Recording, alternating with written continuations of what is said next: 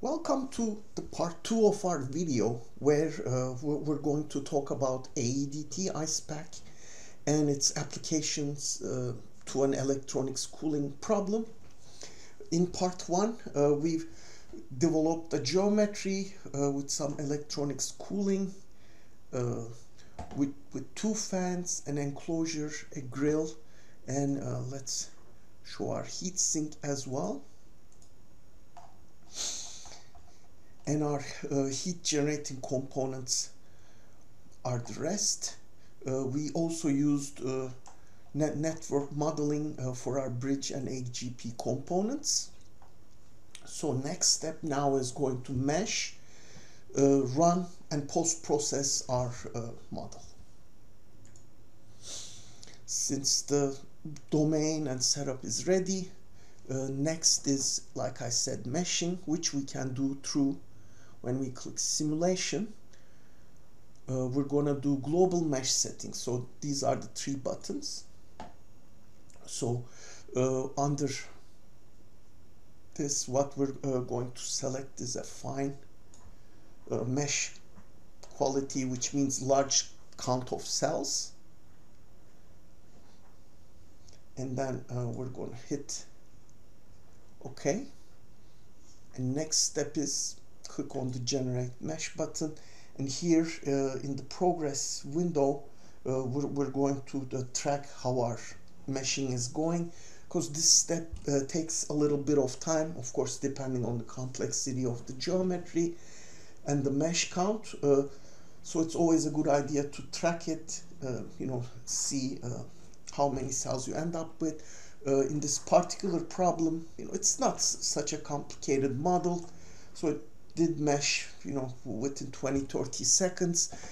And uh, what here we see is, you know, uh, once it's done, uh, we, it tells the number of elements. Uh, we, we can, you know, look at our mesh.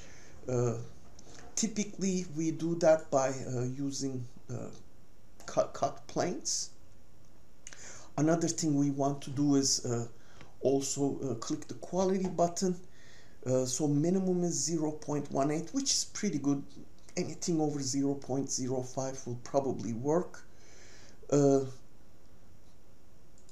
same thing uh, you look at volume. You do not want any negative volumes. That that's clearly a problem. And skewness that that that's also good over uh, 5% So once we check our mesh, we're happy with it. We can just hit close. A lot of times uh, when we do a CFD run, uh, we want to, uh, of course, want a convert solution, and therefore we want to maybe track some key properties at different iterations as the solution progresses. So what we typically do is, you know, define some monitor points where we track some key parameters. Of course, in this case, you know, temperature is the key parameter to track. And uh, what we'd like to do is, uh, therefore, add some monitor points, which is very easy to do. We can, for example, uh, go to our large flash, do a right mouse button click, assign a monitor and then uh, we can just do a point where uh, we want to look at temperatures and hit OK. As you'll notice, you know, it put a monitor point for us. Maybe, you know, we then want to assign some monitors to other components as well. Maybe I'll pick just pick another one of the DDRs. Now we're ready to start the solution process uh, and what we do is we can either click analyze all directly here another way maybe you know analysis we can do analyze all here or Icepak I think analyze also you got all these different options to kick off the simulation. And again, the progress window at the bottom uh, right hand side becomes critical.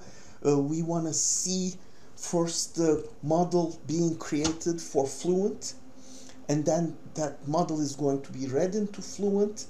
Uh, if there are any problems with the mesh setup, etc., uh, you know, it, it's going to come and maybe not execute. There'll be some errors uh, that will be passed on. But if we have done a good job setting up the model and the meshing, it will start execution and then we'll start seeing uh, you know iteration numbers as they go by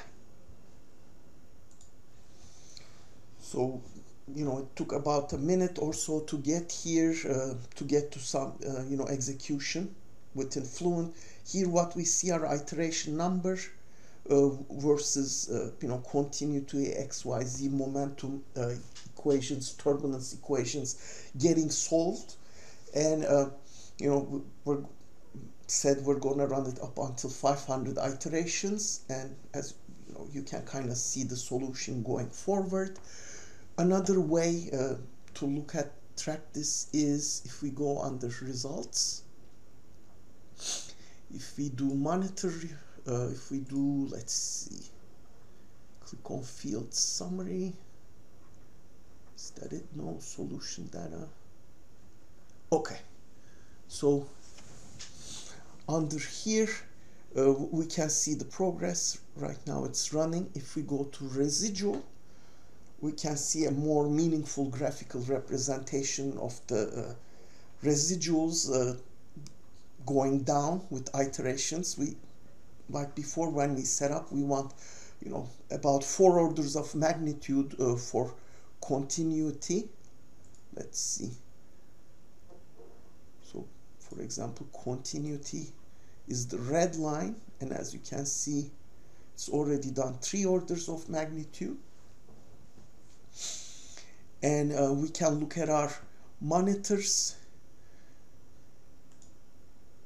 So we have our temperatures. And right now it's fixed at 20 the reason being uh, we're not solving the energy equation yet. See uh, it, it, the, the curve doesn't exist. Because what it does it's going to converge the flow field first and then tack on a, a couple of iterations to do the energy equation. So right now uh, the setup is first solving for flow and turbulence. So now uh, the run is complete and uh, when we look at the residuals as promised you know it first ran the flow converged it and then uh, switched on just the temperature solution then solve for the thermal field. And then here you know you kind of have 20 degrees and then the temperature just spiking up and then quickly settling in. So now uh, we know that we have a solution. Let, let's uh, start talking about post-processing. So one of the first things maybe we want to do is get some uh, numerical values. We'll for this purpose we're going to go to field summary under results. So this is going to pop up uh, you know these windows we're going to go to setup calculation and let's uh, pick let's look at objects first and let's look at some volumetric values uh, look at board DDRs and we mostly care about temperature and we want to see them not as a single number but as multiple calculations. So once we do that, what we will see is the uh, matrix on the right hand side getting formed with solutions. And here uh, what we can see is in the volume uh, we can see the minimum, maximum and mean temperature for the board. Uh, and similarly for different DDRs as you can see you know it gets pretty hot up to about almost maybe 90 degrees C but we can get uh, you know some volumetric temperature information this way. another topic of interest is uh, our network temperatures so this time we go to entity we're going to select boundary surface and here we can see our AGP network and we see our uh, bridge network which we did not change the name for. And again temperature let's add this as multiple calculations. And here so now we have our network solution. And if we're interested in the junction temperature which is right here you know. So this is our uh, 100 you know value 146 and uh, for the bridge it's lower at around 62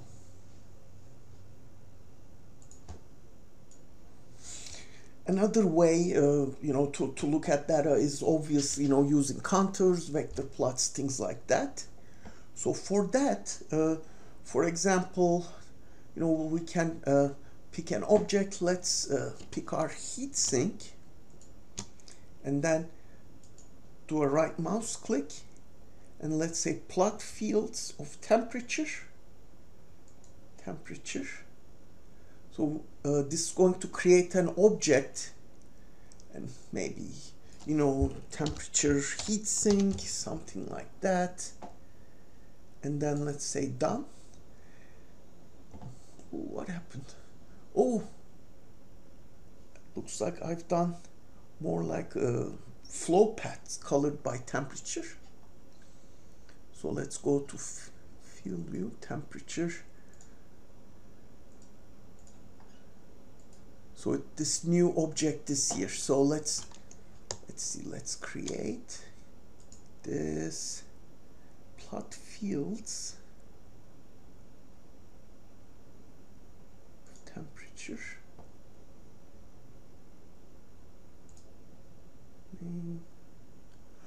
and I'm gonna mark this time plot on surface only. Let's say done. So it's running through the calculator. Okay so what you know we need to do is uh, I because I did not select the uh, plot on surfaces it showed a part of the streamline so what we see is uh, you know due to the fan positioning some strong cooling on one side of the heat sink and you know not so much uh, good cooling on the other side. So you know immediately this suggests hey maybe the fan position may be changed or the uh, you know AGP position may be changed. Yet another uh, you know piece of interesting information is the flow distribution. So here uh, let's see if we can do plot fields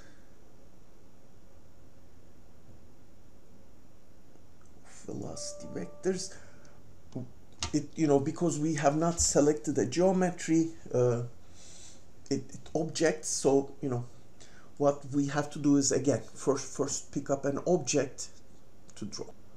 So if I were to let's say go create my air block and let's see I want to see now the velocity vectors. Okay. Let's say done and let's see what this will do. Okay so now as you can kind of see we both have the temperature and also showing the velocity field on how the flow uh, goes around objects. If we double we can see you know how, how the flow field is moving around. So obviously at the end of the simulation you may want to save your model. So you know you can click save project and you can see the data being saved. Uh, if you want to uh, share your model with other users uh, what you want to do is also uh, to do an archive after saving it and that you can find that on the file archive that is the best way to transfer uh, such uh, you know AEDT models And that concludes our presentation. Thank you.